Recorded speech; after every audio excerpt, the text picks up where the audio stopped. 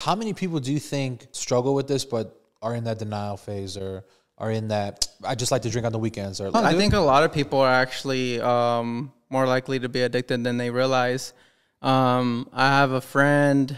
He lives out here in Vegas that reached out to me um, a while back, and he was like, "Yo, like I just crashed my car. Like he just bought a Beamer. Like was like he paid it cash. Like it was like 30k or something."